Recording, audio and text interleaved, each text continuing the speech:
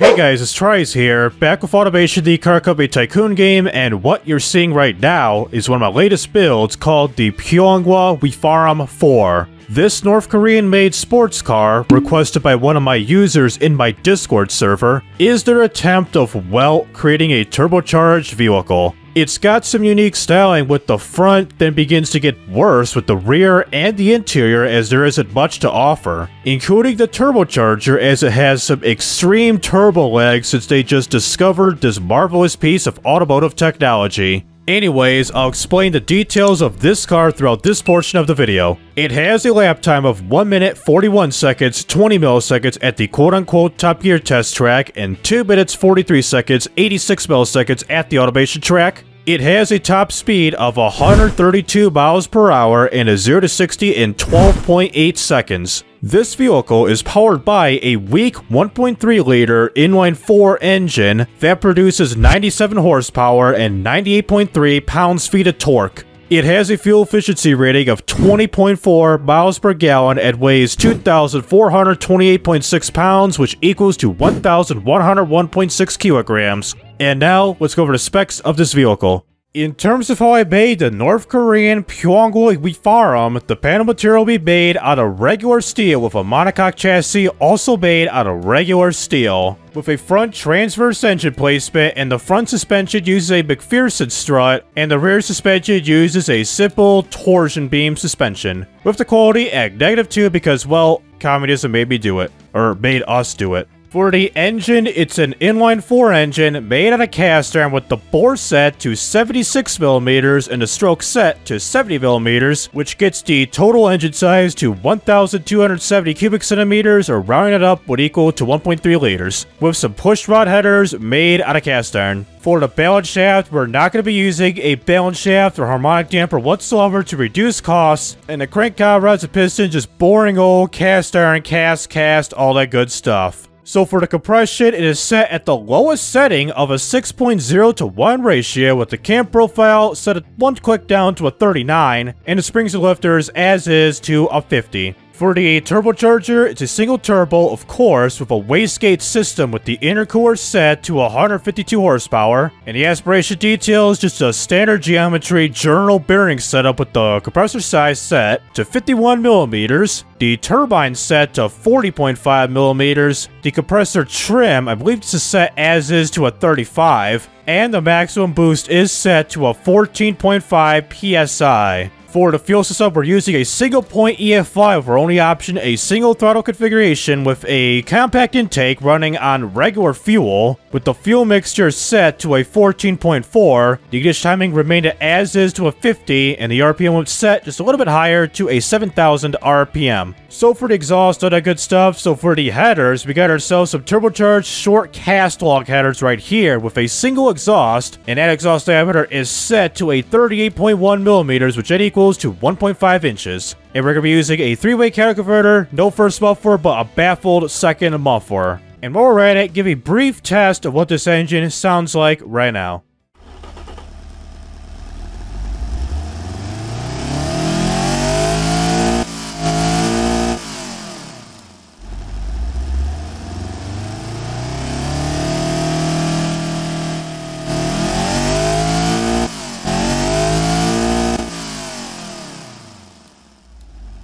That is a crap ton of turbo lag at 4600 RPM where the torque just peaks out and drops. That is sad, folks. Not if you're North Korean. So for the rest of the vehicle, like the drive type and everything, so for the drive type, we're going to be using a front-wheel drive system with a manual 5-speed with the top speed set to 134.4 miles per hour. And for the 0 to 62, thanks to the turbo lag, we got it set to a 12.78 seconds, which that is unacceptable for a modern day vehicle. For the tires, using some radial hard long life tires the front and rear tire width each set to 195 millimeters running on some 16 inch steel rims. So for the brakes, we're going to be using some drum brakes front and back so the front is a 2 shoe with its size set to 325 millimeters and the rear is a single shoe with its size set to 230 millimeters, with the rear brake force set to a 65 because, well, if I kept it as 100 or so, then we've been locking up the back end so easily. So, under tray, no under tray, barely enough brake airflow, so for the interior, like why even explain? So for the interior, but as you can see here, a pretty basic interior because, well, made in the frickin' DPNK, so a basic interior with the AM radio just dead center, like right up in here, folks. yeah, nothing much to offer. Basic interior, basic AM radios, so we restored the transparency and give you a look at the safety features and everything. So we have safety features, and that's suspension safety features. We got no power steering, no traction aids, and basic 2000 safety standards with the quality at negative 3 because, well, like I said, Korea made me do it. And now, finally for the suspension, basic things. Standard springs, twin-tube dampers, passive sway bars, running on a sports preset. Despite only 5 problems we got here, which is complaining about the vehicle, such as the lack of power steering, jabber speed too high, rear brake force speed too high, and the rear tires being quite wide, let's jump in to BeamNG Drive and take a test drive with this here vehicle. So here we are at the bottom map of Los Angeles and taking a brief look at this vehicle. Well, if you immediately look at the back end, we can see here, got some knockoff BMW-esque type of taillights up in here with the model name of the vehicle, the Hwiparam, and Model 4, which is the fourth successor, or the fourth model, succeeded the first, second, and the third one. Which I believe one of the first ones that were ever made of this lineup was the based off the Fiat Siena, where they made a freaking propaganda ad that was like four or five minutes long about the car driving real slow, the interior, the factory, all that good stuff. And the front of vehicle, which I did tinker around, if I turn on the headlights of all 60s headlights, you get the light of the freaking Supreme Leader right in your face. Low beams, high beams, it don't matter. And with the rest of the vehicle, such as the interior, came up fairly well despite seeing some, like, gaps with the chassis placement and the chassis materials just exposed up in here due to that North Korean frickin' technology up in here. And unfortunately, gauges don't move, so whatever. So that'll be with this vehicle. Let's find an open space to do our base performance test. So here I am about a mile down the road on the highway portion of the map here from where I spawned in originally. So for our three basic performance tests that we'll be doing, is the first one will be a 0 to 62 acceleration test, followed by a 62 to 0 brake test, and lastly, a top speed run. With this here vehicle, with this amount of turbo lag, with this small of an engine, it's not going to make it whatsoever. 133 miles an hour is way too ambitious for this type of car. Just, just, just watch. So start off the 0 to 62 acceleration test, now, accelerate. Look at the RPM needle just fluctuate as we slowly accelerate. Let's just watch this right here. Out of first gear in eight and a half seconds. That's horrible. Second gear. Still horrible.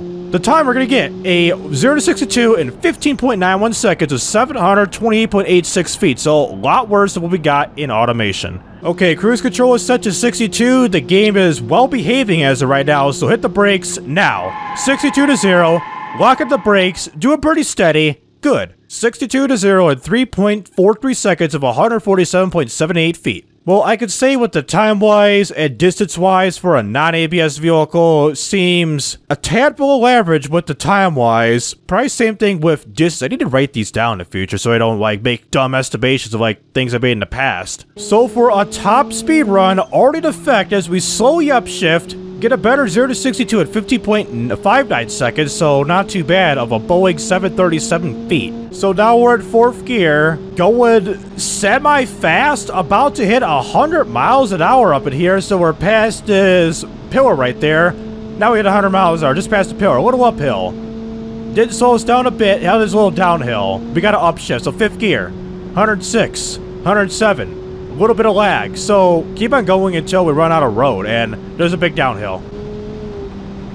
We about lost control as we gained a little bit of air, almost drifted. Are you kidding me, man? So we're not going as much faster as I thought it would be. We're just catching downhills, and we got the airspeed. Okay, now 124 miles an hour. We got a curve up ahead, so there should be a thing up ahead right here. I see, see right here.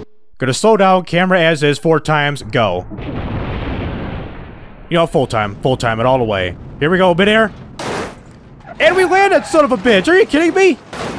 Equip the uh, bridge support pillar thingamajigs, and the engine is still running. If I accelerate, we didn't stall out. So about 124, 125 miles an hour. So top speed run is a fail. So the back end, we stretch this bad boy out big time. Look at that, man. So the mile name, the Hwiparam, is just stretched out big time. Even the brake lights. Look at the even the brake lights. Look, that that's normal right here. This is all normal. This is not normal. So back end stretched out, left side of vehicle, that tire is missing. Of course, you can see the damage app right here. So left side's kind of screwed up. The front end, let the frickin' light of Kim Jong-un shine your face. And the right side, oh boy, that's that, that tie rod snapped right here, man. So coming up with this portion of video will be a time trial run at the map of Italy with the through the center layout with this here vehicle and we're going to be doing three laps in the noon hours, and first place car, which I guarantee we're going to, uh, it's not available, which we're definitely going to pass of an 11 minutes, 47 seconds, 510 milliseconds, which I believe, if I have to guess, it was either the Mercedes AMG Benz Patent Motor Wagon or the SRT4 Daimler Motor Carriage, those old-ass cars that was revived in modern times. So I am confident we're going to get first place with this here time trial, so take it there right now.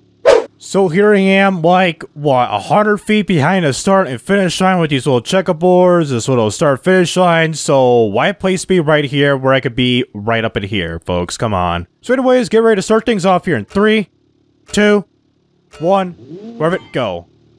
I also need to get rid of the freaking torque graph out here, because this always breaks down in a time trial when you first start up. Left corner. Not too bad. So despite it upshifting and like struggle to upshift, it goes like... Let's see. Brake. Oh man, we really gotta slow down here. I had to... Uh, oh, about hit a building right there, so... Got straight. Curb. Good. It seems like the other vehicles I've done, like hitting the curb, you just slap that curb and it's like almost game over. And I forgot, no ABS brakes. Slap. My dude. Be very careful of the curbs. Yes, I was saying. With other vehicles I tried out, slap the curb, and it's almost like the car breaks apart when you hit the curb, so I almost did earlier back there, so next time, take it slow. So despite the lack of features, just extreme turbo lag, I mean, performance-wise, like agility is decent of a sports car. It's decent. General performance, eh... I wouldn't say more about it. Coming up into our first lap past the EV chargers, we get a time of 2 minutes 3 seconds, 425 milliseconds. Go hard here. Not too bad of an apex. I... That was a good apex corner record there, right? Alright, this time here. We got the curb. Yeah. Damn. The little lock up of the car and a swing as the vehicle going up and down. Okay, curb. Good. It's the stairwells coming up to my left, so brake here. Pump. And then just Oh, wow. Is this curb messing up my car? It is. When in doubt, let's just enter in ascent first. Let's reverse it and see what will happen. Let's see. Pop the curb ever so slightly and hit the stairs, hit the deck. How about here? Okay, did good. And a 32 second split gap. Well, second lap, it's gonna be horrible. Just watch. Oh boy, fast. And the Furious Volume 9, plus 10, and we're auto steering to the left because it went way too damn fast. And we're going uphill and we're struggling. It wasn't doing that before in the first lap, but I think the damage to the vehicle has pretty much made it worse. Second lap, 238, 263 milliseconds. Okay, how about right here again? With the car auto steering, we're gonna slow way down. And then just let the car come to be. And the buildings just stay out of my way. And we did fine out here. Good, because the front bumper is like hella damage. How about here too? Good. So me try this. I'm gonna hop the curb by rolling on it rather than taking it head on and...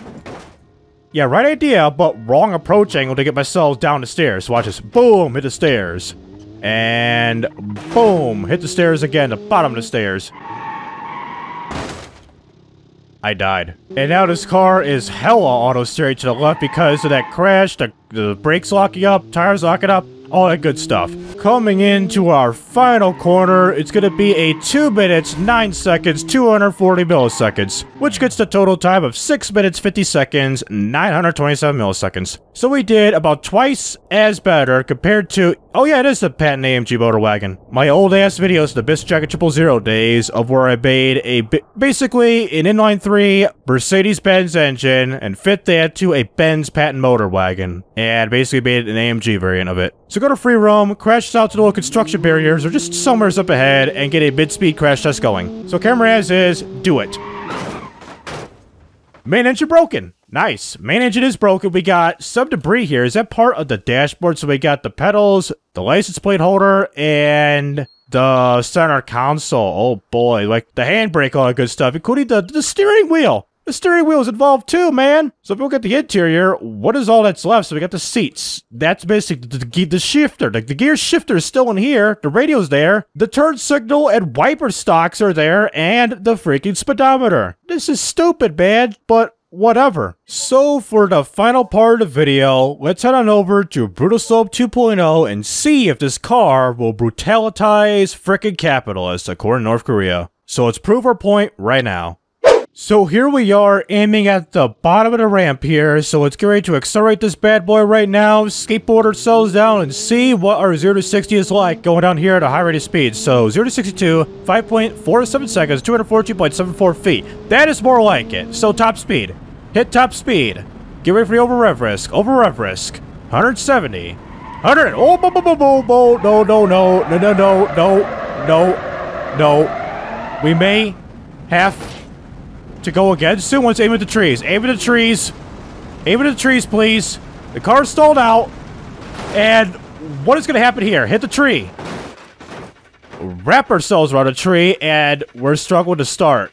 Please start, please. It's refusing to start up. So let me try again at the ramp again. Try to stay centered this time. And I guess do that again. All right, so pay attention to the air. So the car was just instantly just shifted to the right due to poor aerodynamics and the grip of the vehicle, the grip of the road. Let's see. Let's see. Engine pull up, 200 miles an hour, 210. We're going okay, 220.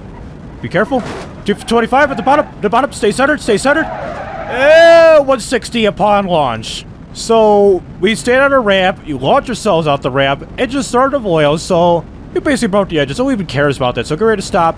Now, get a camera going, slow this down to a 60 times, and get ready to play it. So play now. 60 times slow right in my face. And there goes the car. There goes the seats. There goes the dashboard. There goes the center console. There goes a couple wheels. There goes the rest of the debris. So that's all that. So full time it now. Tumble as we go. On our side.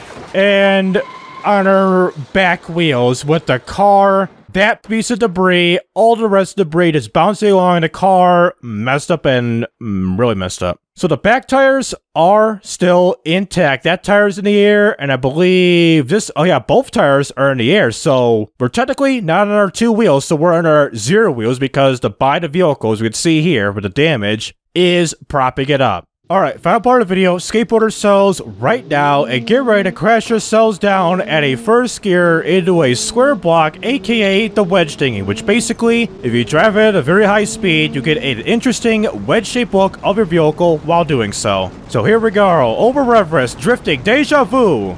Please stay center for God's sake. Valve train damage, mild over rev damage. Dead, so we're drifting. Hardcore drifting, we might miss this. We're gonna get a side impact! A side impact at a 196 miles an hour. I'd never done a side impact, so let's get this settled right now. So 100 times slow-mo, go. What do we get here for a side impact? Do we get a side wedge? Okay, here we go. There's the side of the vehicle. There goes all of the fixtures. 60 times to 8. Bounce it back. And full time. Well, it's not a wedge-shaped look of the vehicle, so we got a tire, and we got all this stuff coming right in my face. There goes a... What is that? Was that the tire or a piece of debris that was, like, kicking up a lot of dust or something? So it wasn't a wedge-shaped look of the vehicle, so we made our wedge-shaped look. So what is it, F8?